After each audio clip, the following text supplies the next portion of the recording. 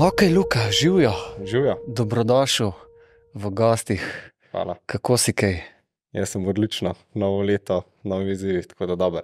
Um, kdaj si bil na zadnje na Dilcah? Je, deset ur nazaj. Deset ur nazaj, ni danes zjutraj še ni šel. Ne, so malo prezgodaj začela. En tak stereotip um, tekmovalnih turnih smočarjev je zato neki ultrasuhi ljudje uh, v pajkicah, ki šopajo v klanc, ki pa smučajo, pa skoraj zgleda, da ne bi znali čist. ja, uh, sigurno so to neki stereotipi. Ne? Ponovadi imamo res bolj uprijete drese, ampak to je tako, kot greš teč, greš pač v pajkicah zaradi te funkcionalnosti. Ampak tudi jaz imam te široke hlače doma, ker se pač bolj počutim zaradi izgleda. Ampak ja, pač pajkice so bolj praktične, pa gremo sigurno malo hitreje v klanc, pač že zaradi same fizične pripravljenosti. Nadol pa kdaj zgleda, da malo čudno smučamo, ko imamo precej ožje, pa lažje delce, kot pa vsi ostali na pobočju. To upremo bova še posebej obdelala. Da mi povej, da ima večkrat predstav sploh to disciplino. Ja, pač turno smučanje je, bi rekel, en segment turnega smučanja. a ne. To pomeni, da imamo turno smučanje, pa imamo pa tekmovalno turno smučanje, ki je pa neka podvaja. Uh, pač tukaj se gre res za nek performance, vse pomeni, da uživamo v hribih, vsaj sam rečem, da delam ta šport zaradi hribov, ne zaradi samega športa. Ampak tukaj gre pač za tekmovanje, kdo bo pač na koncu najboljši. Tako kot v atletiki laufajo na 10.000 metrov, pač tukaj pri nas probamo, kdo bo najhitreje pač upravil z neko progo, ki je vnaprej določena, vnaprej določena disciplina. In temu so prilagojeni tudi treningi, a ne na hribu si pač prilagodiš teren, izbereš teren, ki je temu primeren, in potem stremiš k temu, da boš najboljš pripravljen prišel na samo tekmovanje, pa pometu s konkurenco, po domač povedan, ampak ni pa tako enostavno. No, to zagotovo ni, ampak veliko tekmovanja pravzaprav tudi na smočiščih. Ja, to je pa, uh, bi rekel, predvsem posledica olimpijskega športa. Uh, v preteklosti je bilo vse v hribih, pa čim več v hribih, zdaj se pa pač, da približaš večji množici, pa da šport narediš bolj varen, pa medijsko bolj zanimiv, pa to se pa marsikaj dogaja tudi na smočiščih. Zdaj je to dobro, ni to. Pustimo to tematiko, je malo bolj občutljiva, ampak določene discipline so pa predvsem na smočiščih, zato da imajo pač zgolj zaradi tega, da imajo vse nacije pač enake pogoje, pa da je bolj približaš tudi ne vem, Azijcem, ki so zdaj postali veliko močnejši, Američanom, pa tako, tako da ja, se dogajajo določene discipline tudi na smočišču. Deva najprej čisto mačkaj razložiti, kako je sploh ta šport strukturiran. Ne?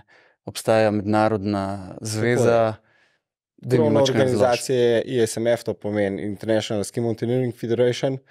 Uh, in oni so pač med, kot, kot mednarodna atletska zveza, je tukaj to krovna organizacija. In pod to organizacijo potem pač spadajo tekmovanja.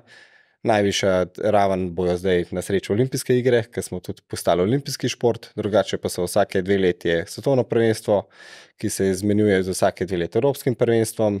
Bi pa rekel, en tak svet igrali pa vsem še svetovni pokal, ki pa traja skozi celotno zimsko sezono, ker imamo pač, mislim, da je letos osem postaj svetovnega pokala na različnih eh, prostorih, kjer so vključene več ali manj vse discipline na eno postajo, oziroma se malo menjajo.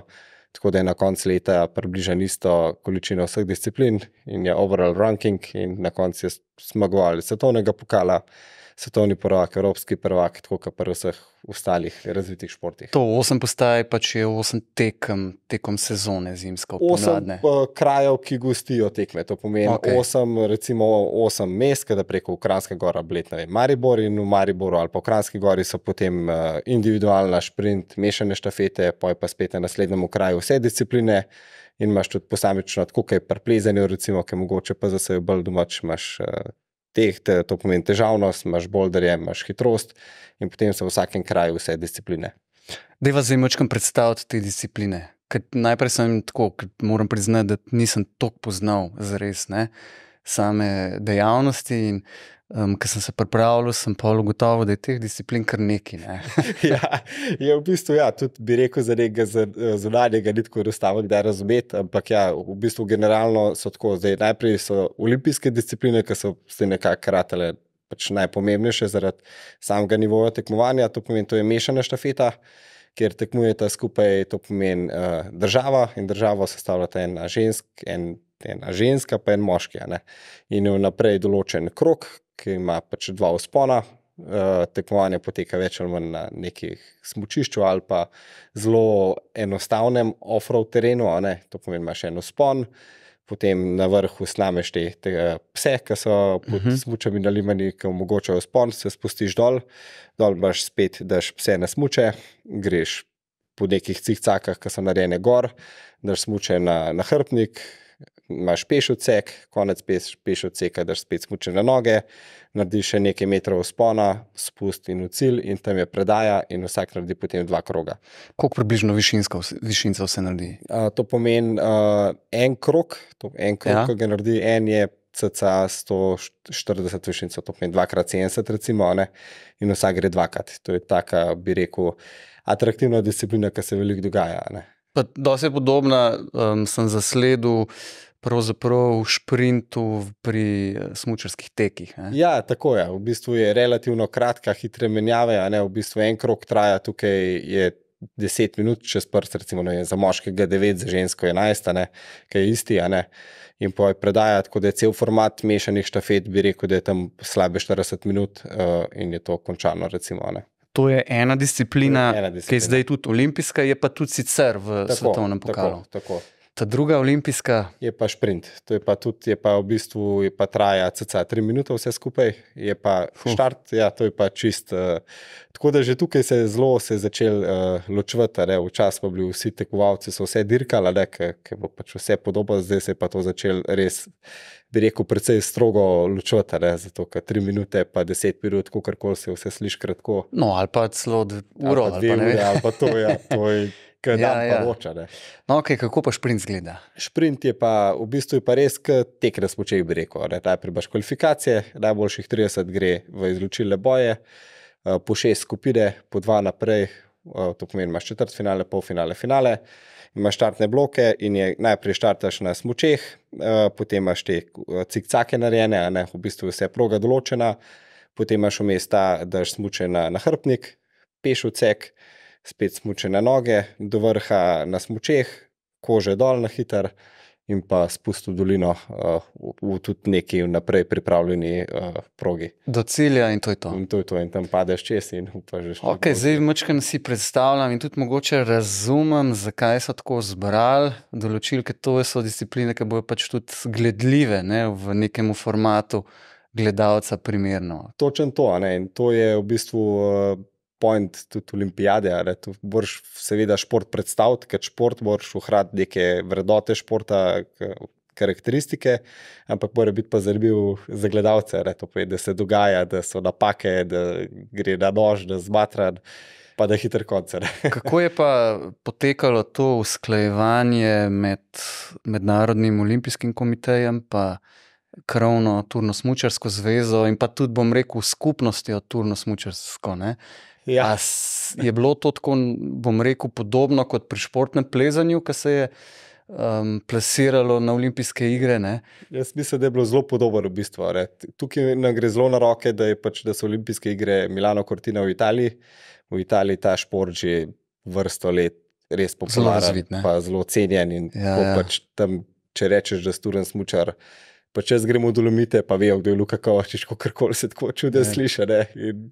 Zanimivo. Ja, in je pač to nekako uh, že vzpostavljeno, ne? to ne gre na roko in vsaka država, ki je gostiteljica, mislim, da lahko predlaga dva nova športa, neka taka fora je. Bolj sem mislil to, ali ja. bi recimo skupnost tekmovalna, turno-smučarska, želela kakšno drugo disciplino? Ja, definitivno bi želela. Ne? Tukaj bila, je bil kar razkolno. Sami Aha. tekmovalci se na začetku, sigurno, nismo strinjali z olimpijskim formatom. Ja, ja. Če zdaj je nek rep pač uri, ki smo že nekaj let v športu, večina nas izhaja iz hribov, ne? in pa kaj daš hribovca na smočišče, se ti zdi malo tako, ampak pač to spremeš, zato ker olimpijske igre so vseeno olimpijske igre. In pa, pa oni so mogli pa narediti en format, ko pa zanimiv gledalcem, pa prijazen mora biti tudi tujim nacijam, kot so Azija, pa to, da bi vsi lahko to delali. Ne? Ampak, če bi nas vprašal, bi bil individual v hribih, pa nekaj težka smočarija visoki hribi, ampak žal to ni mogoče. Ne? Tako da nekako ste se že malo sprijaznili. Ja, če se ne izbire, imaš sam probleme. Zdaj, Ja, ja, se sprijazniš, pa uživaš, pa se baš fajn v športu, ali pa se vsak dan zbudiš, pa slabe vole. ne. No, pa se, se mi zdi tudi pol v športnem plezanju, ne zdaj, ko je že. Ne, ko bojo pravzaprav ja. nove olimpijske igre, ne, ampak ko, je, ko je prišlo športno plezanje olimpijske igre, je bilo kar nekaj Ja. Pompa in negodovanja, kaj ste se zdaj izmislili, to neka kombinacija treh disciplin. Ja, Ampak se je to, pa ja. tudi zasidrala in se speljala. Mislim, da so bile olimpijske igre, so vsi pozabili, da to ne paše skupaj. Ko smo gledali, pa jaz vsaj malo vem za šport, pa so pa se vsi sparjazali. Ampak tudi pri turnem usmučanju, kar kaže za naprej, ne pač prve olimpijske igre bojo, zbir so neki porodni krči, kako se temu reče. Ja, ja. Vsi se bomo sparjaznili, na koncu bomo vsi zadovoljni, vsi bomo uživali v tekmovanju, ampak za druge to pomeni, zdaj sicer to čez šest let, kako pride, je pa tudi v igri nek individual, a ne to pomeni ta res, bi rekel, disciplina. Ja, se bo vsi- neka evolucija zgodila. Ja, ne. Tako tudi pri športnem plezanju se je. Ne. Zdaj je že Ja. ja. naslednji cikl olimpijskih iger je že nov format. Ne. Točno to. In to je normalno. Ne? Sej, jaz tudi se vsi vejo, nisem najbolj zagovornik teh kratkih, eh, tudi sam nisem najbolj špriter, ampak se, se pa radi obešali štafeti. Tako da jaz se veselim olimpijskih iger, se pa še bolj veselim, da tudi individualno enkrat vnaprej, pa da predvsem, da šport napreduje in ima tudi motivacija, pa vse skupaj tudi lažje.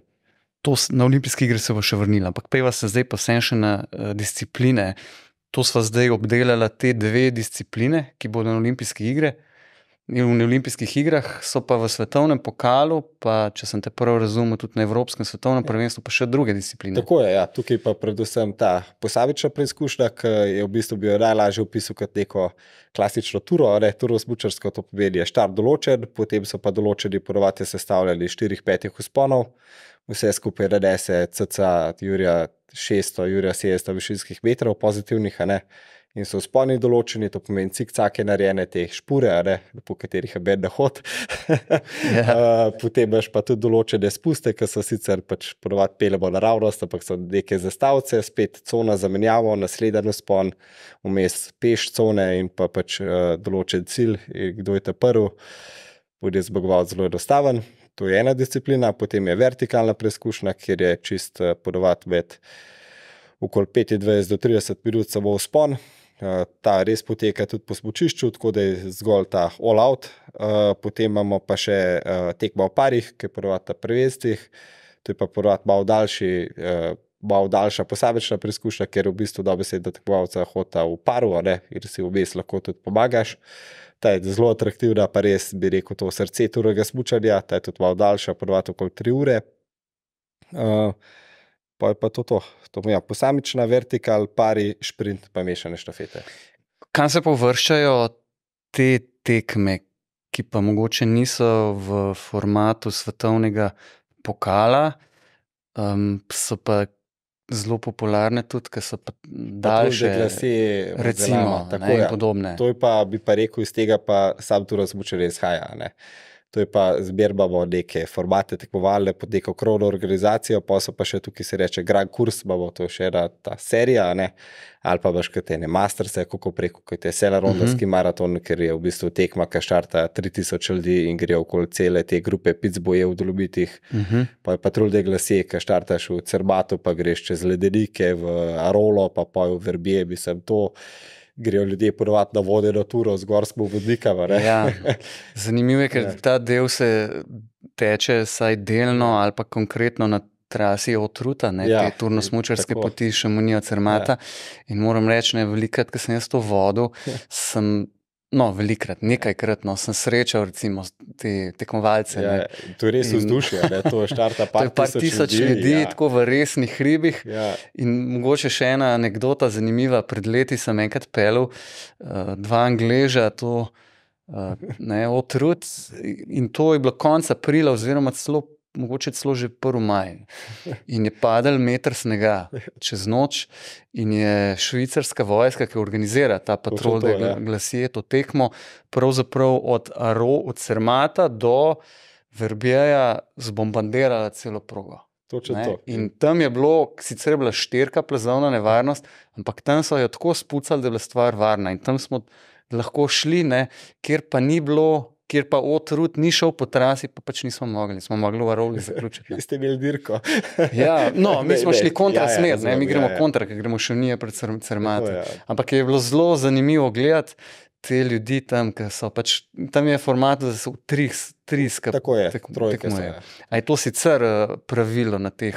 Eh, Na to dolgih, eh, nekje so trojke, to pomeni tapa, macelama, macelama je pa v Italiji nad, eh, gor nad paso tonale, ki greš pa čez Castor, recimo čez Grbem prečeš, a ne pa to, to so res ti hribi, a ne, to je resno vodenje, Ja. tam na- napeljajo fiksne vrvi in to je res gorništvo, ne pa še tekmuješ v tebu in meni osebno pač je to nekaj najlepšega, kar lahko delaš Najboljše, v tebu športu. Tudi, tudi so večdnevne tekme, kot je recimo Tour de Rutur, na meji med Italijo in Francijo, ki veš čez 4000 greš gor. in pač Ja, to je pa res pravo gorništvo, že, ne? pravo Ja. tisto turno smučarsko Tako.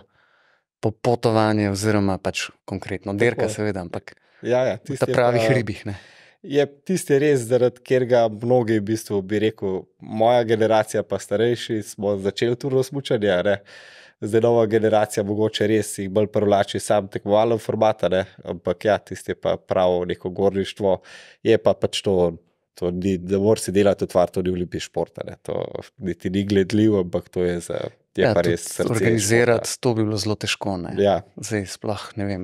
če švicarska vojska to stran stop, lahko patrulde glasi ugaste. a ne. Seveda, ker to je, to je mašinerija. Ne? Recimo, ki se peleš čez rolo, misliš, da je tam neka invazija. Ne? Ja, ja. Vojaška, ker so se tiste.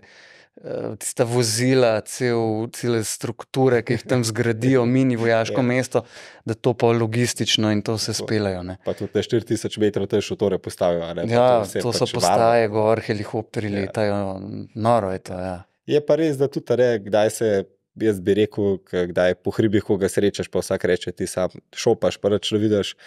Mislim, kot prvo je, mi smo tako bolj pripravljeni, da se matraš isto, kot un, kot hodkomi, a ne, pa Ja, vse okoli vidiš.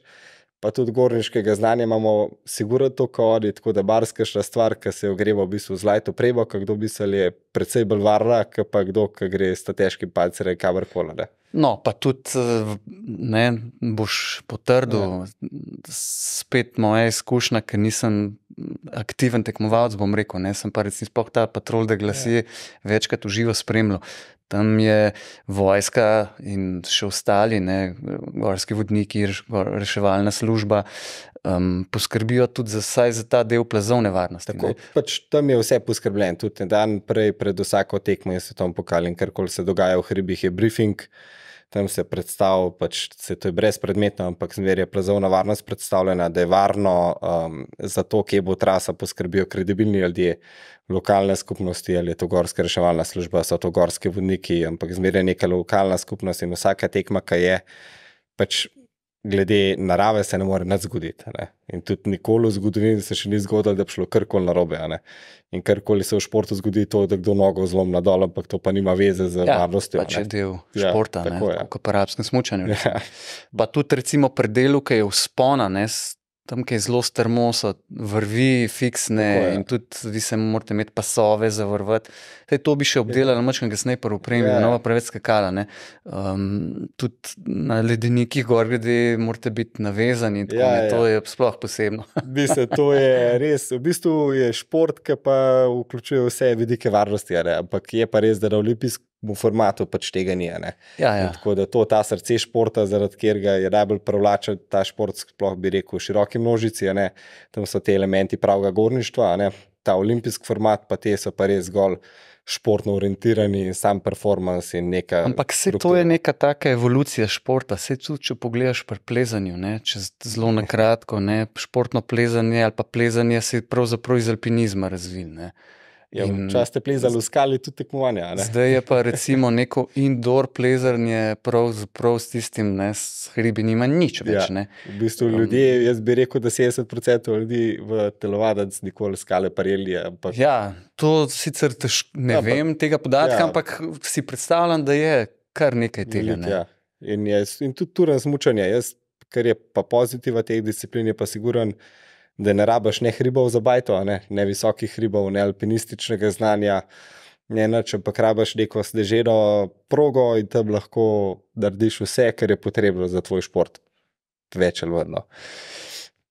Povej mi tudi tole, ne? zdaj naštel si, naštel si za svetovni pokal vse te formate tekmovanj, torej posamične discipline. A je na vsakem dogodku, ne, prej si jih omenil osem, vedno vsak tek, tekma iz vsake te discipline? Uh, ne, to pa ne. ne. Zdaj, recimo, letos konkretno potujemo v Andoro, je tam je recimo individualna preizkušnja, pa vertikal. Pa je pa ko en teden kasneje še ena tekma v Pirenejih, tam je pa sprint, pa mešane štafete, Aha. pa recimo v Švici so tri. Tako da malo se menja, ampak na koncu, ko potegneš črto, recimo, je zmeraj, ne vem, pet individualov, pet vertikalov, ne pet izrazov discipline. Kako je pa s tekmovanji pri nas, v uh, Sloveniji? Ja, nažalost, svetovnega pokala nimamo. Ne? Jaz si iskreno želim, da bo to pač v prihodnje tudi prišlo s tem, ker se šport razvija. Tudi pri nas se mi zdi, da toliko mladih, pa toliko zdaj obetavnih, kot nas je zdaj, nas še nikoli ni bilo. Ampak um, so pa seveda lokalne tekme, ki so pa na nekem nivoju. Ne? Tudi tam ena tekma ni čist vaška, pa da je to čist mim. Ampak vsak se lahko udeleži tekme, tako kot je Lumarjo Vertikal, v Mariboru je ta najbolj enostavna tekma, to pomeni sam na gor na turnih smočeh. In vsaj lahko s tem spoznaš to, kako bi rekel, komunity, eh, društvo, eh, se lahko povežeš s prijatelji in pa padeš v turno smočanje, pa je na zelenici skirajt, je taka lepa, klasična, individualna preizkušnja, ki je meni čudovita, pač tam pod begunštvo si v hribih in imaš vse elemente. Eh, na jezerskem imajo vsak let eh, memorial, ki je tudi lepa, individualna. Tako da tekem je zmerene pet minimalno na leto. Ne, tako da se razvija, nažalost, pač nismo Italija ali pa Francija ali pa kaj, da bi bilo pa to res boom, ampak se pa tudi klevi, da raste. No, zdaj si ravno kar umenil, ne Italijo, večkrat že tako se mi zdi, po nekem mojem nepoznavalskem občutku, da so Italijani morda celo najmočnejši ali pa najštevilčnejši. Jaz bi rekel, to je zelo zanimiva stvar, da odkar uh, v zadnjih letih so jih prehteli tudi ostali narodi, bili so pa dolg časa number one, nesporna številka number one, ampak glede zibelke športa je pa zihar rekel, da je tam to kulturno, sigurno najmočnejše. Mogoče v Dolomitih se je vse. Dolomiti, začel. pa tudi tiste Alpe, tam je bolj zahodno. Ja. Pa kje so še države, recimo ja, Francija? Najbolj vam mislim, da je trenutno Francija, Španija, Avstrija, Italija, Azija z mladimi, to pomeni Kitajska, predvsem je noro močna ratala. Tudi misliš, odkar so se olimpijske? Ja. Ker oni so znani potem, da za olimpijske postavijo, ni da nikaj. Ne? Tako je. Pač tam ureditev omogoča, da naberejo mlade. Tam sem naredil projekt Olimpijske igre, vzeli italijanskega trenerja. Uh, in zdaj, kar naenkrat v prejšnjih letih, to jih nikoli ni bilo, kjer je. Zdaj pa biti mladi, bi to povedal, to so, so starejši mladinci, kako se ti bore, uh, kadeti, uh, so potrebni v desetine.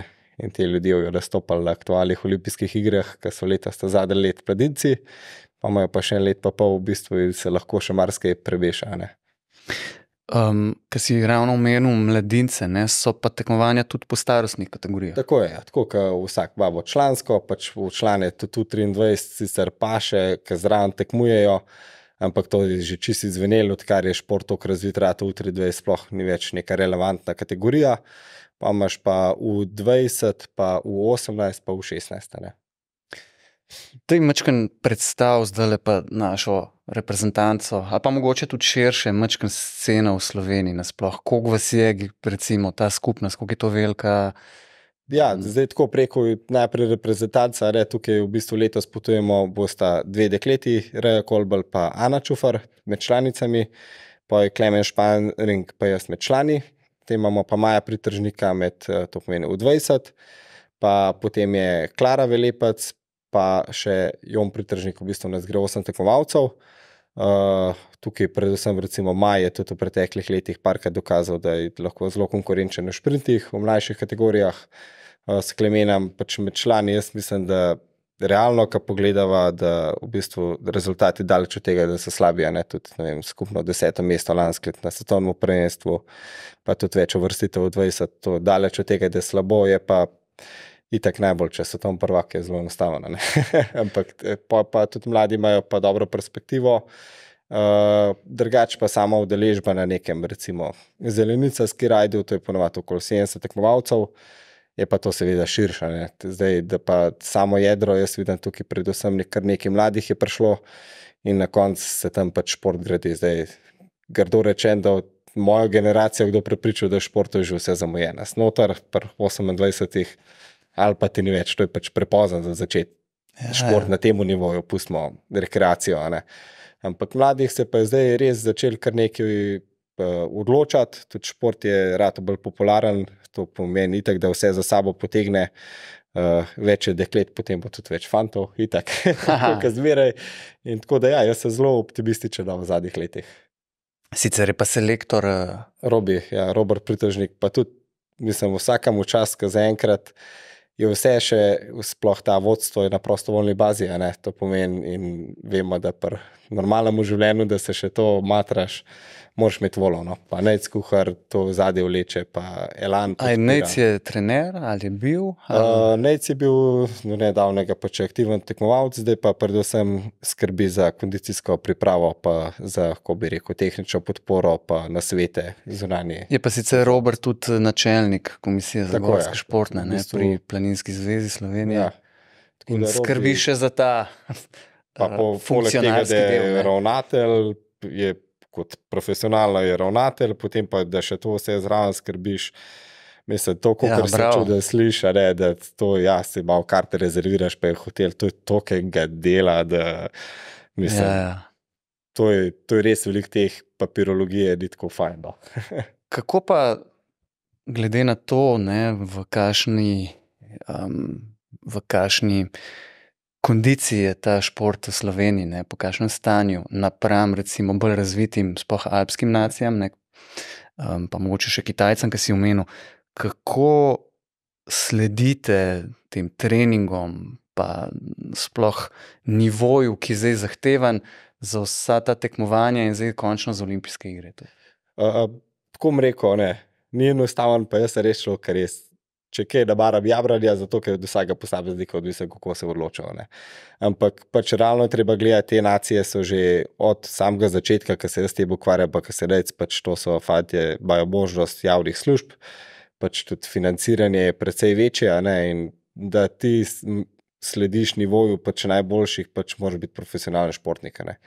Vse zakonitosti športa, bilo kjer ga, ali to zameš kolesarstvo ali karkoli, pač na let moraš narediti tisoč ur treninga. Zdaj pa Zdaj, pa kako jih boš naredil, če nisi profesionalen športnik, je v bistvu ne, ne mogoče. Ne? Tako da jaz imam to srečo, da uh, sem začel šport in leten, ki se ukvarja tudi z gorskimi teki in pa ostalimi vzdržljivostnimi športi v gorah, da nekako financiram sam sebe prek sponzorjev, ki mi pomagajo, pa tudi z delom, ki ga zraven upravljam. Uh, da bi nekako zdaj se bi rekel, da sem bil tri četrt športnik, pa ostalo še zraven podelam. Ostali fanti se, eni imajo srečo, da so še tako pač mlajši, da doma živijo, ker vemo, da stroškov ne rabaš prav veliko krita. Ne? In zdaj imajo pač varianto, ne? dokler si doma, lahko si profesionalni športnik, pa to zbildaš. Je pa res, da če ni financ iz javnih sektorjev, ne, da je to skoraj ne mogoče. Ampak tukaj moram reči, da se pač v zadnjih letih tudi bistveno spremenja, pa tudi pomoč Planinske zveze Slovenije je bistveno večja, ker res spoštujemo, pa upamo, da bomo lahko to nazaj vrnili, ker brez tega, da ti en pokrije prvenstva, svetovne pokale, ki je treba vedeti, da to je zmer par tisoč evrov, ne? to ni par sto evrov, ki si posameznik ne more prvoščiti. Ja, pa in... stvar stane. Ja, pa, ni, ja, ne gre drugače. Ne gre, pa je šport v bistvu relativno pocen, pa tudi destinacije so pred ostalim športom zelo poceni, ampak to so stvari, ki so. Ampak zanima me še to, ne? prej si rekel, ja, moraš imeti, koliko si rekel, tisoč ur treninga. Ja. Ampak ok, to je neka uh, ne, kvant. Kvant, ja. ja. ja. Kaj pa zdaj neka kvaliteta treninga? Tudi to je, ne, ne moreš samo gont po neki inerciji, svoj klanc, ja, ja, pa bo kar bo, ja. pa kao bo. Srečno imamo tako zdaj, glede uh, opreme še, da to ne, imamo dostop do vse opreme, ki imajo vsi. Ne. Vsaj jaz osebno imam dostop do enake opreme, ker so tam prvak, tako da tukaj ni neizgovorov. Zdaj, glede kvalitete, bi pa rekel, predvsem zmanjka pred ostalim narodom, spet finančno vprašanje, pač moraš v oktobra moraš na ledenik ker omogoča edin prostor za trening, ne, in te stvari spet starejo, pa ne, da se pritožujejo, pa pač to tako je, ne, pač, če ti hočeš smučati, rabiš sneg, a ne. Uh, glede strokovnosti samega športa pa mislim, da tudi tukaj je sreča, da je svet rato tako odprt, da če želiš znanje, a ne, ga lahko tudi dobiš. Tudi sam imam dostop do znanja o treningu, pa tudi ostali, ki se zdaj ukvarjajo prek strokovnega štaba pri nas, prek ostalih stvari, imajo dostop tudi do kvalitete samega treninga. ne. Tukaj so pa bolj okoljski dejavniki, so pa kdaj omejitev. Ampak, recimo, lej, če pogledam, pa spet z lajčnim Ja. očesom, ki se spremlja, eh, ne vem, kako se športno plezalna reprezentanca pripravlja. Ne pa vidiš, kako imajo tam neke specifične vaje, ki sploh ja. niso plezalne, pa fizioterapije, pa ne vem, kaj vse. Ne. Koliko imate vi zraven, tukaj... tudi še kaj tega? Ja, predvsem uh, pride tukaj vaje za moč, pa specifična. ne, Tudi turno smučanje ni enake turno smučanje v hribih, ne to bi rekel ta rekreacija. Ampak predvsem tukaj pridejo uh, do izraza kakšne vaje za moč, motorične vaje, predvsem pri šprinterjih, zdaj je ta disciplina neka specifična hitrost, atletska hitrost, poj, uh, trening teh menjav, ki so zelo specifične. Posnemanje, video analiza tega, ki lahko dobiš sekundo, kako boš kože pospravil, in je predvsem ta razvoj, ki pač snemaš in drgneš, in greš v fitness in ravnotežne deske. Pač na koncu ne zdaj ta klasičen trening, zdaj vsi vemo, kaj je, a ne zdaj, kako boš pa sekunde dobuj pa na tebi in tukaj ja. Siguren bi rekel, da eni so korak pred nami, mogoče spet v časovnem vidiku, ker to zahteva tudi analize, pa enega človeka moraš imeti zaposlenega, da to cel dan tisti gleda, pa ugotavlja, ki je už boljša redova. Tukaj da pač manjka, ampak mislim, da to ne bo ključno do tega, da pa nimamo šanse po dobrih rezultatih. In jaz mislim, da trenutno imamo pogoje, sploh mladi, da lahko v parih letih pridejo tudi do najboljših mest. Sem sto procenten, če si prepričan v to, da boš naredil, boš najdel tudi pot. a ne. In tukaj pa predvsem psihološka priprava. Če se odločiš, pa da delaš, je pa to res, da to ni en let dela, ne, ampak par let lahko prideš do dobrih rezultatov. No, sem zgleda, da pri tebi to tako, to nekako res verjameš. Ne? Ja. Ja. Zdaj, mogoče vsak, pa vsi pa vemo, da psiha je zelo pomembna Ja, športu. mislim, da psiha, vsi vemo, jaz mislim, da če bi dal na koncu na test vse tekmovalce, da smo vsi približni gliha. Ne? In tudi koliko zgodb je pravzaprav iz vrhunskega športa, tudi Ja. ja. v končni fazi smučanja poznamo. Ne? Zelo Ja. ja. veliko zgodb, kako je bilo treba v bistvu glavo naštelati, da je Ja. pol pa tista pikca na i prišla za Tako. top od top. Ne? Pa pika, ne. Je tudi recimo v konkretnem primeru, v 20-minutni tekmi nas je bilo lansko leto, mislim, da je 21 tekmovalcev v eni minuti. To pomeni, da če imaš ti klik, je to asi 15 ali pa z 9. a Ne. To pa pomeni, da z 9 vsak reče bravo, za 15 pa vsak reče, da se je fajn. Ja. Ampak vsaj pri sebi gleda, pač to jaz si rebečem peska, če jaz, jaz sem star 28, in jaz, če nisem prepričan v to, da dosegajo rezultat. Bi se jaz pa fabilo, jaz pa bo stalega dela, to grdo rečem, pametnega dela v življenju druga, da če ne bi bil prepričan v to, da lahko dosežem rezultate, je šport pretežka stvar, da bi se ukvarjal vsak dan. Ja, Ostale stvari so bolj enostavne, kot pa šport. In- Ker verjetno zdaj sploh z olimpijskimi je pa to res postalo Ja.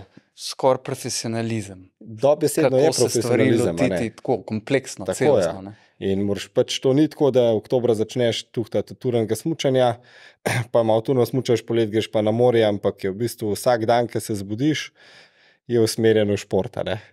Tako kot pri vseh športih in to tako pač je. In jaz imam to rad, jaz pač šport delam za tega, ker imam neko strast do športa, če pa tega nimaš, pa bolj da kaj druga, ki je res bolj fleteno. Um, nekaj si že omenil opreme ne, in dostopnost tudi vaše reprezentance um, do nje. Je pa ta oprema zelo specifična. Ne. Ja, to je. To se še mi, recimo, ne, rekreativci, pa tudi jaz kot gorski vodnik, recimo, ki to vidiš, se tako sam čudiš na nek način. Ne.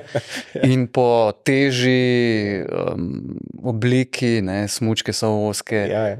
Um, V bistvu tukaj gre za to, da vsa oprema je regulirana strani SBF. -a, ne, to Ja. pomeni, kaj je lahko minimum. To je podobno kot cesto kolesarstvo. Mi gledamo Ja, ja. minimalno težo, pa maksimalno performance. Ne? To pomeni, pancer mora biti minimalno 550 gramov. In vse pancere, ki na koncu tekme stehtaš, so 550 gramov. tudi morajo biti eh, od uradnih proizvajalcev, oziroma Tako, ja. certifikate morajo imeti. Dostopni na trgu, certifikati, v bistvu vsem standardom, tudi recimo direze, ki jih uporabljamo, morajo uh, zadostovati UIA standardom, tako da, da so v bistvu gorniška oprema. ne. In tudi pancer, po sami, kako koli čuden zgleda, v bistvu ta pancer je odličen za smučati, je pa ekstremno lahek, pa ekstremno drag. a ne, tako da No, in zdaj lahko poveva, da tudi, ker sem začel s tem stereotipom, da če že gleda za nekoga turno tekmovalca, da, da kao ne zna smučati, je v bistvu zato, ker je ta oprema tako lahka, da je pač težko Ja. smučati. To je v bistvu mislim, težko, je zato ker noga ni čez fiksna, ne, pa je pa še smuča je v bistvu 65 mm široka pod pancerjem, to pomeni malo širša tekaški laufarsa. Kako si rekel, 165? Uh, pe- peti- 165 je bil za kršne laske, prirajte pa.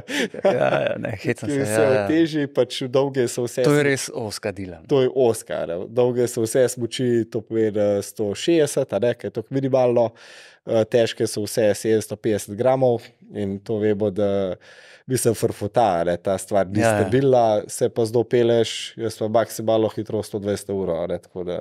Pa ok, verjetno pri teh uh, šprintu, pa mogoče pri štafeti se to še toliko ne pozna. To, ne? Pri teh eh, daljših, Ja, Disciplinah, pa tam v bistvu se pri teža ali pa pri momenta, ja. Je pa to sploh, ki ni recimo snežna podlaga, če si idealna. Ja. ne. Snežno na daleč vse zgleda razstava, ampak doskrat to Ja. ja. kakšno skorijo, ki pa tam pa res ni fajn s tem smučati. Tudi dereze, ki si jih omenil, cepinke, so Ja. ja. tam, ki morajo biti zraven, ne? so Ja. ja. tudi eh, lahki. Ne? Ja, ja, to je vse te lahko, ampak uh, aluminijaste, a ne pač to pomeni, da je namenjen nekemu prečenju, tudi naše tekme, nikoli ni to leden plezanje, ampak pač zaradi Ja, ja, ja. same varnosti po neki snegu, da jo direze, tam je šobar zdo brez, ampak pustimo to, pa tudi cepin je pač minimalna dolžina, mislim, da 50 mm, a 50 cm, teža pa vsaki tak najlažje. Ker veliko te opreme, zlasti DRS in cepinov, tudi se mi zdi, prihaja v, tole, v ta rekreativni del turnega Ja. ja. smučanja, um, Zdaj, ki tukaj pa je lahko včasih problematičen za kakšnega rekreativca. Ja, tukaj Ne? bi pa jaz predvsem rekel, tukaj pa spet znanje. Pač, če vzamemo zgolj šport, vzameš to, kar veš, da za vas vso varnost poskrbljena. Ne? Pač v športu, s čimer boš tišel, te pa en prijel za roko, a ne? če je Ja. karkoli narobe. Zdaj v samem gorništvu, ki gre pa tudi, ne, treba je vedeti, da neki so te, šport na tekmah, ne, neki pa, ki gre vsak dan na trening, tam pa ni uga človeka, ki ti pač reče, Ja. da si pa tretja stopna nevarnosti, tja pa razmeš, ampak tukaj pa rabaš pač svoje znanje. Ne? In Zdaj, kam ta oprema paše, jaz mislim, da je zelo uporabna za zelo veliko stvari, če veš, kako jo ne. Tukaj pa človeški faktor, ki pa se sami ukvarjate s tem, tudi na planinski zvezi, ki pa mislim, da pa ljudje vsi kupijo najboljšo opremo, ne, pa ne vejo niti zakaj, niti zakaj uporablja, drugače pa ta oprema ima funkcionalnost na svojem mestu v nulo. No, zagotovo, ne, Ja. Ja. ker v končni fazi pri varnosti v gorah je oprema samo en del. Ne. ja, to. Moš jo imeti, pa moš jo znati uporabljati. Ja. Ja. To seveda so to temeljni. ne. Ja, Ampak pa je še veliko več. Kaj zna, zna to uporabljati, je pravzaprav zelo kompleksen ja. Ja. pojem. Ne. In ta stvar se jaz, vsaj osebno, ki vidim to gorniško, ki sem pa vse, bom rekel, precej upeti letno in zimsko gorniško, ta področje, vsi na hribu imajo sigurno upremo. To sem jaz prepričan. Ko pa zelo delajo, je pa bolj tak. eh, Ja, čeprav recimo zdaj le par dni nazaj sem šel na Grintavc in sem srečal kar nekaj ljudi z zelo zanimivo opremo, recimo Ja, temu. je, ja. Um, od teh veriga derezic, ki, kamor ki to pašejo. derezice sploh niso, ne. Ja, sploh pa ne za na Grintavc, kljub temu, da ni toksnega. ja, ja. Potem sem videl možaka, ki je imel avtom- polavtomatske dereze na čevlju, ki niso polavtomatske dereze in je vsakeč, ko je dvignil peto, samo 5 cm dol pade. ne. Ja. Tako, Mislim, to so res kompleksne vprašanja. Ne? Zdaj, ta šport je res v gorah, predvsem treningi. Je pa spet tako, jaz sem po duši hribovca, ne, in zato tudi treninge rad izvajam v gorah. Ne. Tudi sam imam sistem, da kar je treba narediti na specifični podlagi, ker te neko smočišče gre na smočišče, ker imam pa tri ure neke bazične treninge, grem pa zmeraj v hribe, ker je to moj drive in moto, zakaj se te, s tem športom ukvarjam, ne pa kakšna plezarija, ki zraven pa še pa to. Ne. Ampak večina ljudi gre pa samo v hribe, ne, s tem športom tudi. In tam se treba pa ukva, v, obnašati, ti tekmovalen turno smučar, turno smučar, pohodnik pač po nekem bontonu, ki pa še v gore, pa znanjem opremljena. Ne. Tam pa je pa to, to kompleksen problem, me pa žalosti, no, mislim, da se vse pač pobaša v isti košane. Tam mene vidijo s lahkim derezom, pa s lahkim čevljem, pa boh hlade, da se nekaj naredi, ampak pa rečejo, ja, le kako ta hod, jaz pa dva cepina v rok, mislim.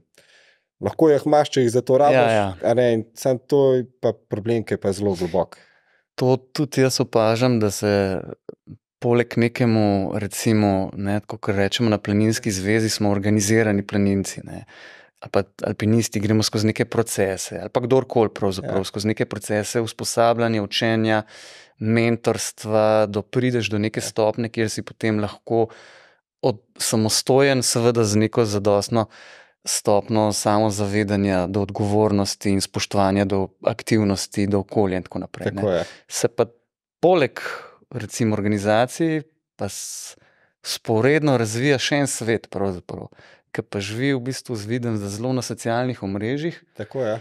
Ki pa pravzaprav, ki dosti ne da na to tale bolj šolani, rečemo, gredo mainstream. Ja, ja. In tam se pa stvari drugače pelejo in se preskakuje neke stopne, bazo. Ja. Um, ni cedil, ne, ja. nekih prehajanja stopenj in tako naprej. Vsak je vse glah. To je tudi, problem. Ne. Tudi gore niso telovadenca. Telovadenca rabaš ključ, da te eno spusti čez naš grad, pa če se.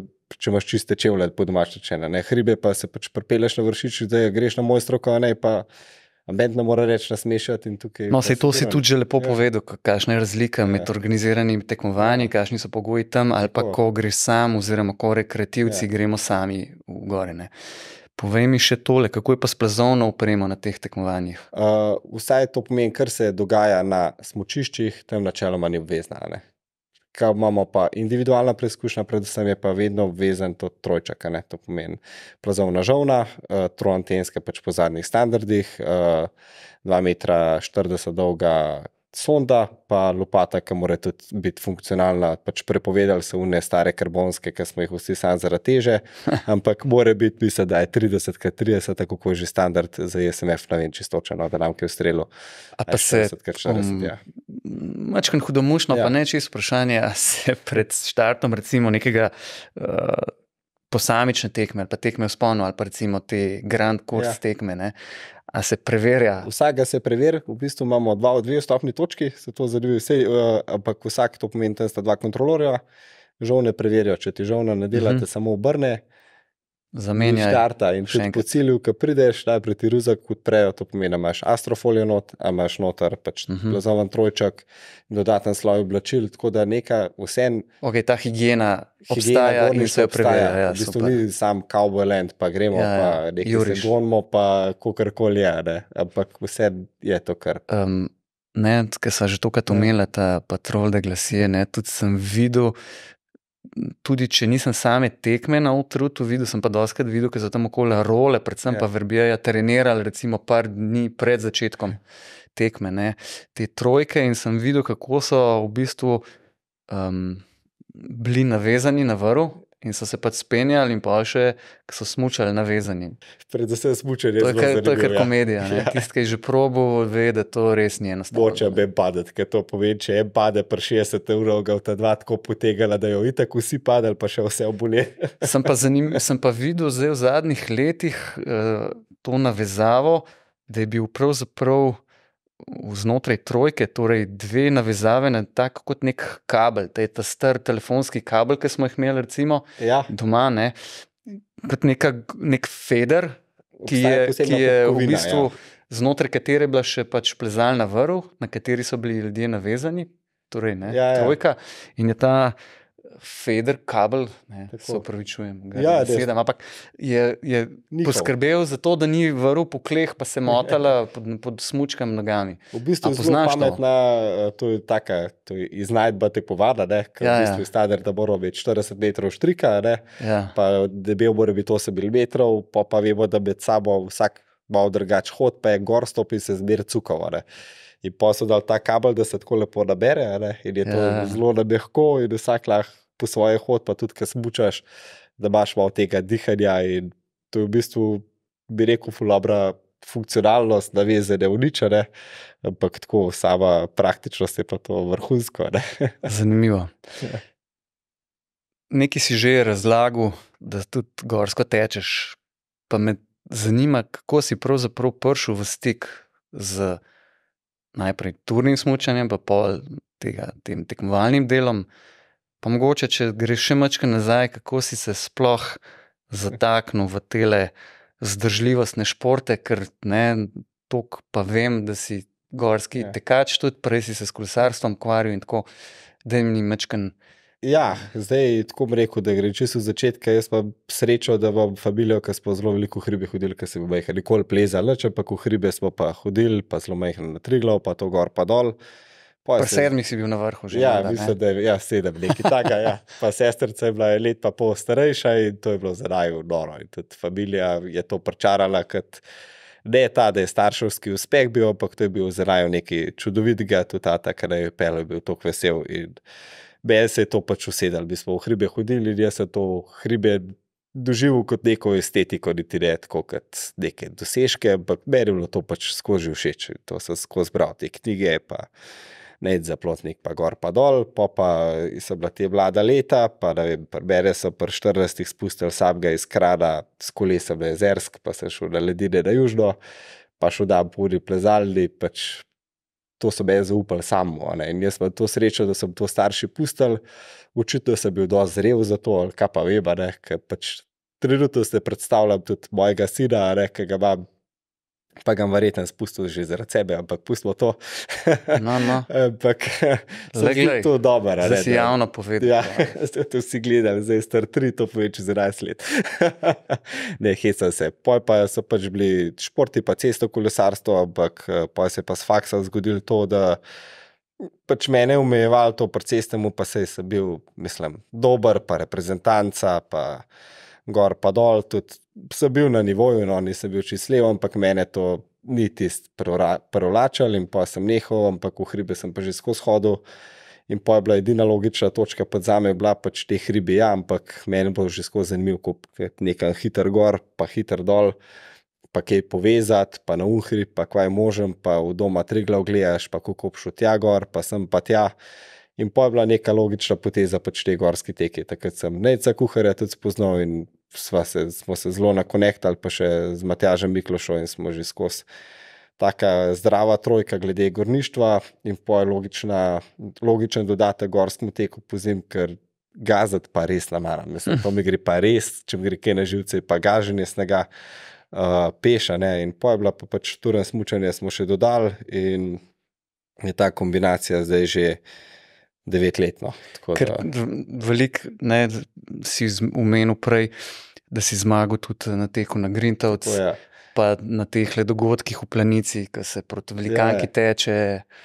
Da se meni bilo to zmeraj najbolj. Grintovc mi je bil zanimiv, ker pač meni je tako tudi zanimivo, da nek če gorski tek, ok, zdaj je to ekstremen, ni meni se pač zdi to performance, da ni to nič tako ekstremenga, ne, ampak pač šport, da ne zaključiš na vrh enega hriba, ki je lep, pa visoki, to je bil Grintovc, a ne, in to je bilo meni že, ker sem začel, sem rekel, jem pa na Grintovc enkrat zmagal. In sem toliko časa, da takrat, nažal- nažalost, je bil takrat pač zadnja izvedba, ampak sem pač tudi iz Grintovc zmagal, pač kle v Sloveniji in sem zdi, da je to tudi en tak pomemben meni- a ne, tudi pri nas, poj planica je zraven prišla tudi ena taka, bi rekel, posebna preizkušnja, ker sem jo poj pač kar ene parkrat zmagal. Ampak ja, Pa tudi z biciklom na vršič si zmagal. ne? Polnija na vršič, ja, tako da take bedarije, bi rekel, eh, ampak ja, zmer so bili pa v zadju nek hribi, a ne, zmer je pa to.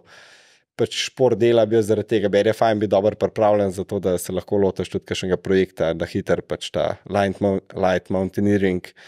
Pač mogoče ni tako blizu plezalna težavnost, ker sem na dan na štantih čakati, ne, ker to pač nisem tip za to, da imam tam nekaj kvačkov, ampak mi je pa všeč, da pa prideš nekaj hiter, pa nazaj, pa tudi če ni to najbolj enostavna pot. Pač se tudi, ker si pa, zraven, si pa tudi dirkal po hribih. Ne?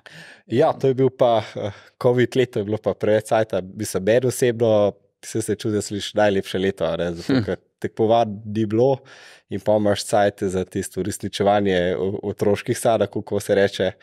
In mi je bilo pač uh, taka ena logična povezava, kako čez cele ulice, prišel pa spet malo v najlepši hribi, najvišji hribi. In po takrat je pač to bil caj, da smo izvedli pet najvišjih vrhov Slovenije na peš. Pa je na tako, predvsem ne to, da sem jaz to naredil, pa kakorkoli bil cajt, ampak uh, je bil res en tak dober dan, pa tudi Aljev, to je bila ekipa, kar je ne 25 ljudi takrat.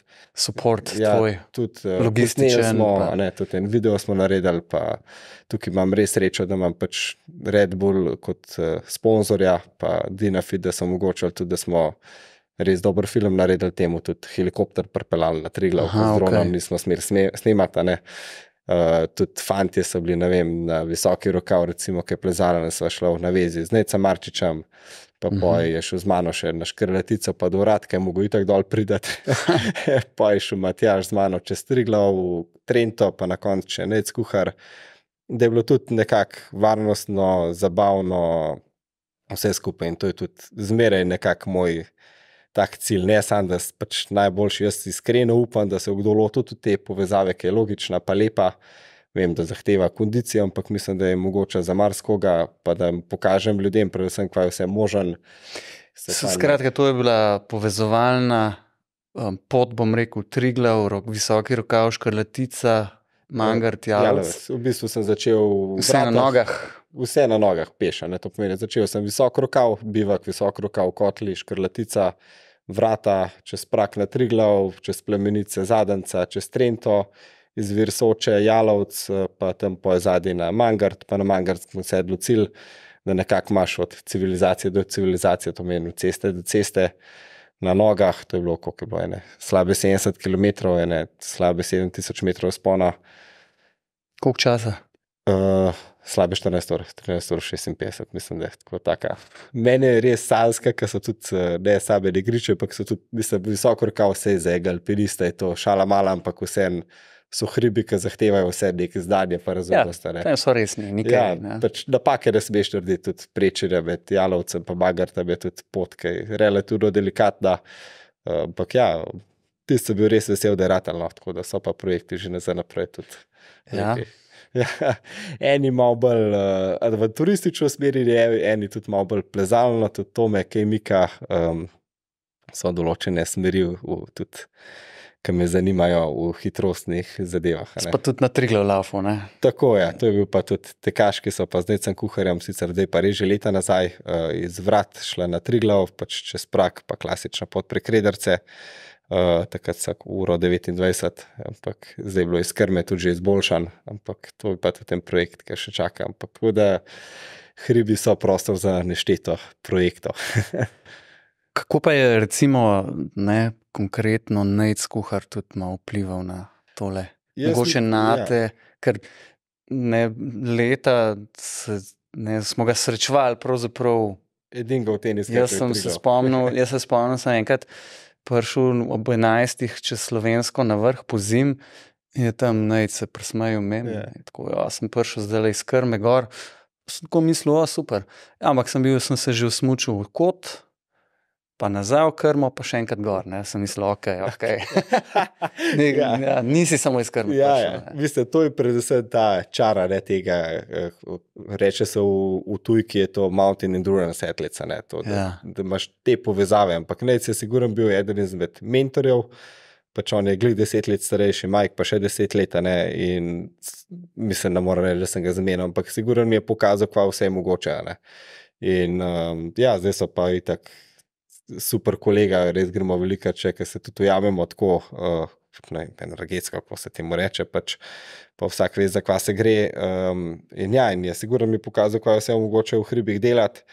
Uh, in me je navdušil, sam pokazal še malo na cilju kompas, uh, kam ne, mislim, ne kam ne gre, ampak predvsem pokazal, kaj je mogoče, pa da to, kar imam jaz vizijo, da je to možno. No, Ker še ena stvar, ki sem razmišljal te dni, je tudi to, da v primerjavi s kakšnim drugim športom, ki ni vezan na, eh, bom rekel, okolje, ne, naravo, konkretno na sneg, ne, s katerim pač, kot vidimo, imamo težave, ne, ker ga pač ni, ali pa ni dovolj. Um, kako kombinirate, ali pa kako strukturirate treninge? Ne? Ker recimo nek športni plezalec, ki so jih zdaj že parkrat ja. ima telovadnico vedno in lahko ja, ja. v bistvu tisto, kar bo na tekmovanjih konkretno non-stop trenira. Ne. Ti se ne moš po celem svetu voziti gor pa dol, da v šisku sneg, z delcem v klanc dirko. Ja, tukaj, sam tukaj je v bistvu ratov kar globalen izziv, ki ga srečujemo tudi pri alpski smučariji. Tukaj bi rekel, da je bolj usporednica z alpsko smučarijo. Um, pač jesen je treba iti na nek ledenik. Ne tudi letos smo se, pa v lanskem letu smo se prvič vsi srečali s tem, da so bili ledeniki kopni. Ne. Tako da to je, bi se bratov pravo te vode šli, ki mogoče ni prav zelene, ne, ampak pač stvari kopnijo in kdaj tudi ni variante za trening in se je vse skupaj zamaknilo za kakšen teden, ampak oktober je treba iti na ledenike. So pa določene reprezentance že začele tudi učile odhajati, ne? ker pa tudi poletje. In... Skaj, sicer je pa si predstavljam gorski tek. Pa rolke, kolo. Ne, torej, simulacija ja, teka na smočeh. Zelo podoben. Kolo že ne več tok. Kolo tudi. v jeseni ne več, kolo je predvsem aktualen poletju, nekaj pač ne marajo laufa, tudi taki so se, to nič narobe, a ne, ti pa pač vzameš palce, pa makadam cesto, pa gasa, a ne. In vsaj narediš tisto neko bazično pripravljeno specifiko, se da marsikaj narediti. Zihar pa v zadnji fazi pač rabaš smoči, že za nek občutek, pa to, ampak mogoče lahko tako narediš, ker smo v parih letih delali, ker je bilo treba pač prilagoditi, da prve tekme moraš sprejeti to, da ne prideš optimalno pripravljeno, ne? ampak na ta drugi tekmi pa tudi pade posod, pa tudi če en teden kasneje začneš trenirati, pa lahko ujameš ta vlakane. In tukaj je bila opcija, zdaj pa pač vse se premika v prejšnjo sezono, eh, prej v sezono zaradi sponzorstev, ker pač aktualna prodaja opreme se dogaja decembra, to pomeni v turnem smutnju je treba govoriti novembra in da imamo prvo postajo, da je zadnji vikend novembra in poj pa ne se vsi znajdemo. Kam to pele, s tem je isto, kar so pregovorili, pa če se sprijazneš, narediš vse za to, ali pa jamraš, pa te sam glavo boli. Ja, ja. ja, če jih ne stvari ne moreš spremeniti, jih moraš sprejeti. Ali pa od koraka stran. To če tako, jaz mislim, da pač temu smo vsi prilagodili, pa če spremeš, se imaš lahko tudi fajn na koncu. Vsi živimo pač od nekih sponzorjev, podpornikov in to pač tako je. da mi zdaj pa vsem povej, ne, odkar je prišla novica, puf, turno smutanje, tekmovalno turno smutanje bo tudi na olimpijskih igrah. Koliko je to um, vam dalo krila? Tebi konkretno, pa tudi mogoče celotni sceni. Ne? Ker vsem šport, mogoče, če bi bil prej bolj obstranski, ne tako prepoznaven, zdaj Ne, zdaj se že pojavljate, greste že v olimpijske študije, se že govori o tem, še več se bo, če boste bližje, recimo, če boste kotirali zelo visoko, bo še več fokusa, se vidiš, kako smo slovenci ne, zahtevni, da športnik. To, če treba zmagati, ne, take lestvice postavljamo. Meni osebno je bil pač ja, ena spodbuda, ne, pač, um, dal je športu res zagon, to je nevreten, kva olimpijska disciplina naredi za sam šport. Predvsem vidim pri mladih, to je zdaj mi ratelj zanimiv, zato ker se pač govori o športu in če je šport popularen, se pač več mladih ukvarja, ker je normalno. Uh, in meni kot osebi dal pa pač tudi novo priložnost, ne, da mislim priložnost, da lahko vseeno stopam en korak naprej. Ne? Zato, ker mogoče za kakšno drugo nacijo se ni tako poznal kot za nas. Ne? Če si enkrat profi, pa je težko greš nad profi. Ja, ja. Nas pa se, so se pa odprla marsikera nova vrata, pač govori se o športu. Vemo, da če se šport pojavi v medijskem prostoru, vsi zagrabijo za to. In ja, mislim, meni je dal siguran motivacijo, ne, da zdaj pa, pa tudi, ki mladi prihajajo, pa te vrat brcajo, mi je spet dal meni osebno motivacijo. In jaz mislim, da je za šport to res ena velika uh, spodbuda uh, in res ogromnega dobrega. Ne? In definitivno so se finance najdle, uh, zanimivo je, kako se v športu spremeni dostopnost do javnih financ, je šport olimpijski, ali pa če je šport pač neolimpijske discipline, a ne pač tudi do mogoče potencijalno do kakšnih mest v javnih službah, ne z mednarodnimi razredi bomo lahko prišli, ne to pomeni, da ti pa je omogoč, da si profesionalen športnik, ne kaj pa pač edina pot, a ne da tja prideš. To in- seveda. In je to tako je. ne. Kako pa se lahko danes kakšen, kakšna mladenka in kakšen mladenič lota Ja, je pa v bistvu- tekmovalnega turnega smučanja? V bistvu smo pa za to poskrbeli ne tri leta nazaj, mislim, da je zdaj se je pač pojavil projekt Šola na turne smoči, ki se je že Mhm. malo govorilo od olimpijskih in se je pač naštimala neka oprema. Tako da v bistvu mladi, ki imajo interes, pa ki se zdaj pokazali, lahko dobijo na neko eh, omejeno časovno izposojo, ampak kar dolgo, ni to za en teden, ampak lahko za par mesecev dobijo mladi opremo. To pomeni specifične tekmovalne, torej smoči, specifične pancerje, da so konkurenčni, se lahko začnejo ukvarjati s tem športom. Zato, ker vemo, če otrok pride k tebi dan pa reče, fotor je prd, tu razmučal, boš rekel, ja, biš ko fajn, sam to stane, ne, ampak zdaj pa res lahko otroci, mislim, mladi, ne otroci to probajo. In je s tem dostopnostjo se je pokazalo, da smo zdaj dobili kar nekaj mladih. In mislim, da osebno mislim, da je to eden izmed res izjemno lepih športov, varnih športov, sigurno. Tudi imamo klube, kot je TSK Lima, Društvo za razvoj turnega smučanja, predvsem Robi se tukaj veliko matra, ki tudi mladim pokaže, kako se to gre. Pač jaz verjamem, da starši pač pojma nimajo, ker je normalen, ampak če otrok hoče, oni ne rabijo biti gorniki, da bo otrok to probal in se gibajo na nekem smučišču, a ne, in ker je bo otrok se razgibal, fajn se umel, pa nekaj dobrega naredil. Tako bi človek rekel, glede na to, koliko je sicer turno smučanje ja. popularno, pa verjetno je še vedno v usponu, Tako vsaj je. do neke mere. Bi človek lahko rekel, pa dobro, bo percentualno bo se tudi nekaj te mase odločilo tudi za ta tekmovalen del. Ne? Siguren, a ne. Jaz A mislim- vidiš kakšno povezavo v tem? Ja, jaz siguren vidim, a ne, tako kot je pri vsem ostalem ratala. Odkaj ko je enkrat pač zdaj primerjanja garam bred dobra, a ne. Ogromno ljudi pleza, ne, zdaj pa še ratal tudi mladim zanimivo. Ne, in jaz tukaj vidim predvsem perspektivo mladih, kot posod v športu. ne. In uh, jaz mislim, da če bomo mi dobro, kot rezultatsko, pa mislim, da smo na poti, ki se bo sigurno pokazali, da dobro delamo, da se bo tudi ogromno mladih ne, odločal. Pač je specifičen šport, povezan je z zimo, ne. Ampak kaj je lepšega, kad greš na turno, pač gor se razgibaš, dol se pa še ne. In, um, jaz sigurno vidim perspektivo, ko gremo vsak dan pač na trening, a ne vidim ogromenih ljudi, ki jih živ Bog ne bi dal v hribe, par let nazaj. če se oni spravijo v hribe, to pomeni, da je neki interes, zdaj pa mi pa tudi mislim, da imamo neke lovke, kako se to reče. Da bojo tudi prišli v tekmovalno turno smučanje, uh, pa da bo perspektiva kot tudi živela naprej. In pa garantiram, da je to Super. Mislim, meni je fajn, jaz ne morem druga reči, drugače tega ne bi delal. Ne? Ja, turno smučanje je že tako, se mi zdi, pregovorno. Ne? Jaz se spomnim že pred 20 leti, ali pa Ja. še pravzaprav času, ko sem začenjal s alpinizmom, ne? pa so starejši alpinisti, recimo tam proti 50 ali pa še kakšen več, govorili, kako. Ne, zdaj v teh letih pa pač plezajo ne več, turno smučajo pa še. Ker, pa užitek. ne, to je pa tisto zdaj. Gre pa res za neko estetiko, še vedno Ja, ja, je to neko fizično delo, ne, v hribih si prešvicaš vse. Ne, in poleg tega, da imaš uspon, nekam prideš, imaš razglede, pa pa prideš le ta dober del. Ne. Ja, mislim, to je nekaj najboljžga. Ne? Tudi jaz osebno tako vidim, ok, to je res nagrada, spustim, ampak najhuje je tisto, ki priješ na vrh hriba, pa moraš peš dol. ne. To je, da imaš smučke, Ja, tam ja. to zmago. In to mislim, da je tudi ena motivacija.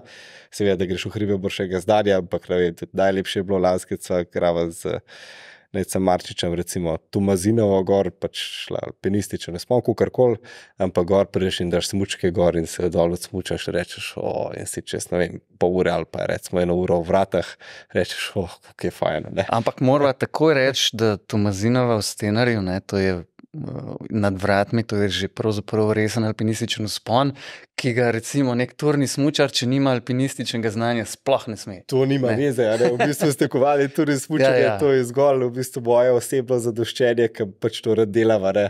Ampak je pa to del tudi, koliko je širok ta tvoj smučanje. Je pa ja, itak, tudi alpinizem pa še, smo pa različni. Seveda. Eno vprašanje, ki vem, da je nehvaležno, sem ga ukradel, recimo novinarjem, ki mnogo krat sprašujejo športnike, ki grejo na neka tekmovanja, kakršna koli že. Ne. kaj pričakujejo, kje se vidijo rezultatsko. Uh, Oziroma, mogoče še za vas, za vašo reprezentanco, kakšne so možnosti, da se najprej uvrstite uh, na, samo tekmo, na same olimpijske igre, pa mogoče, kje se vidite zdaj, kako ste konkurenčni pr proti vsem, ki si že omenil, kje so. Zdaj tako je. Ne? Če bi pod lansko sezono potegnili črto, bi bila Slovenija po standardih, ki so jasni, pač na olimpijskih igrah. Uh -huh. Je pa res, da se bodo v bistvu kvote potrjevale z naslednjim letom. Ne, olimpijski sistem vemo, da ima specifike, pač vsaka celina ima svojo kvoto in pa, ker se vse podelijo, pa Evropa ponovadi še ostale pobere, ker smo pač športno bolj razviti. In Slovenija bi bila na olimpijskih igrah preko mešane štafete, pa pa tudi z šprinterjem. Zdaj, glede ciljev, je pa, pač to je moje mnenje osebno, ki ga lahko vsak, pa se vem, da ga je vsi vzeli. Ampak če ne vidiš medalje, pojem meni osebno športni smisel. Um, jaz pač vidim medaljo, sam top mesta, zato ker verjamem, da če imam tak cilj, pa lahko tja pridem. Če imam pa cilj peta mesta, pa pa v življenju boljši, kot pa peta. Ne? Ker je pač ne mogoče, ker imaš v glavu bariero. Ja, ja. Zdaj, kva se pa na koncu zgodi, vsi bomo dali vse od sebe, jaz verjamem, da bomo vsi delali za to, tudi sam pač. Delam maksimalno za to, kot vse projekte, ki se grem. Pač, če se nekaj odločim, bom to pač vse vložil. Uh, in ciljamo, sigurno na medalje, pa najviše mesta, uh, kva bo pa na koncu.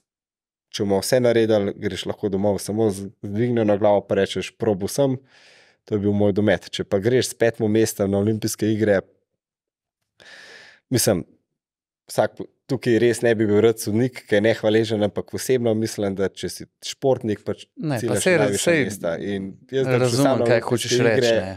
Sam na olimpijske igre, da bom domel, pa da tam mi ne pomeni tok, ampak če šel pa tja, pa če pet, pa rekel, jaz sem garov za to, pa še dam, pa s ponosom V končni fazi tudi alpinist, ko gre v steno, jo ima namen preplezati Točno to. v načinu, ki si ga je zadal. Torej, včasih ne rata, pa pol pač prilagajaš, Ja. ampak če greš že v začetku z figo v žepu, ne, Ja, je pol je sigurno ne boš friknil, recimo, če je plezalna. Tudi ne, za alpinizem, skalna. ki je zelo ne, tako nehvaležen. Ne, ne dolgo nazaj ste imeli odpravo, ki je bila v bistvu v očeh javnosti neuspešna, ampak fanti so dali vse od sebe, ni ratala, kaj boš zdaj naredil. ne? Ja, In greš dovolj sklonjeno, pa z visoko glavo, pa še garbaš naprej, pa v naslednjo pa mogoče bore.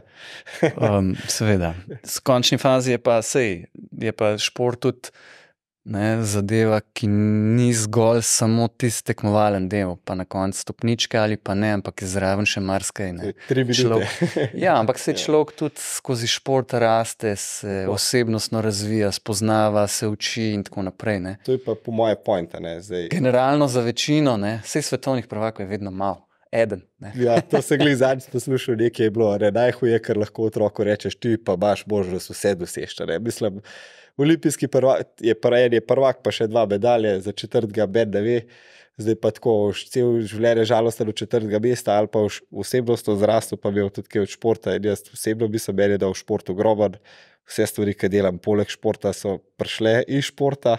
Dosegel sem jih nekako iz športa, ljudi, ki sem spoznal, so iz športa in uh, to je pa cel point na koncu. No.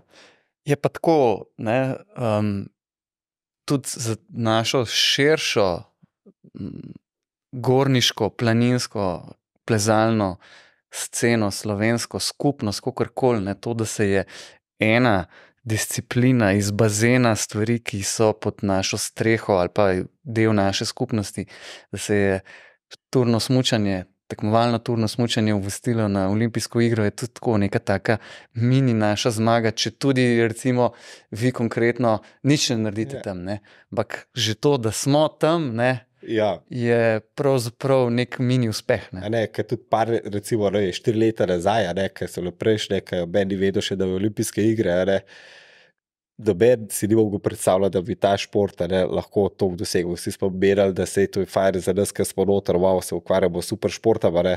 ampak zdaj, ki je pa to dosegel, pa mislim, da je tukaj bila skozi podpora Planinske zveze in tukaj pač velika zahvala leti na celo hišo, pa vas osebje, ki so nas skozi podpirali, ki s tem tudi do sem ne prišli, ki smo, a ne, pa tudi naprej ne bi garbali, ampak je, mislim, da je ena skupna zmaga vseh državah, ki so na koncu participirale, pa verjele v šport skozi leta, ki je bil totalno brez perspektive, ne, ki je bil čist mema, ki je bil, no, bi, bi, bi smo verjeli, da je to nekaj najlepšega.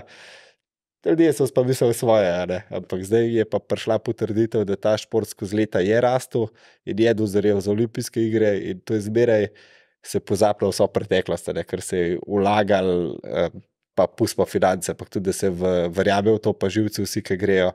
In da smo zdaj tam, mislim, da si damo lahko en velik uh, high five, ne, da je to ja, skozi. ja.